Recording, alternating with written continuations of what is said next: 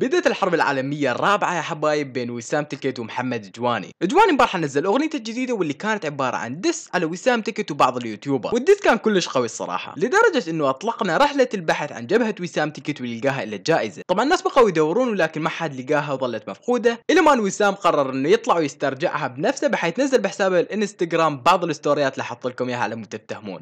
يا جماعة الخير في شخص أو شخصاية يعني من كتر ما أنه متحمس للكليب تبعنا اللي بده ينزل نزل الرد عليه مع إنه الكليب لسه ما ما انتشر ما طلع.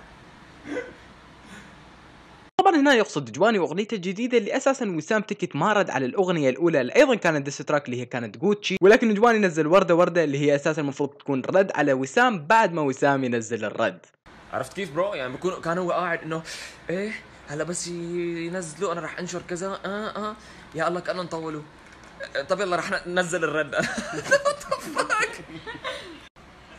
على كل آه الكليب جاري تصويره وشي راح يكون يعني فوق فوق فوق. ما راح أحكي كثير بس أنتم بتعرفوا.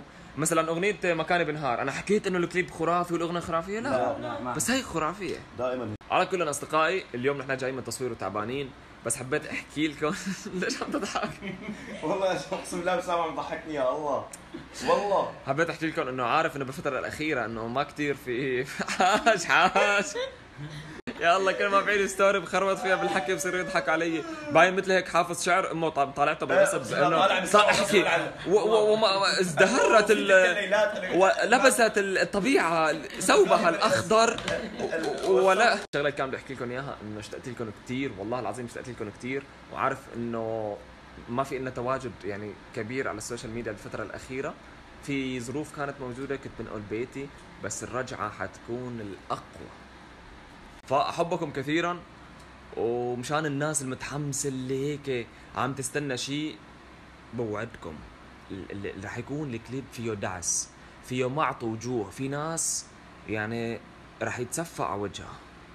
رأيي بالموضوع إني أنا كلش متحمس لهاي الدراما الجديدة اللي أتوقع راح تبدي وحسب ما سمعنا من كلام وسام إنه الأغنية الجديدة راح تكون دس على جواني. فاكتبوا لي بالكومنتات هل تتوقعون الأغنية حتكون أقوى من مال جواني هل حتكون أضعف ومن تتوقعون يفوز هذه الحرب؟ وبس والله إنه وصلنا نهايه المقطع. لا تنسوا تحطون لايك وتشتركون بالقناة كانوا كفايه زي قناة مملكه القصص. مع السلامة.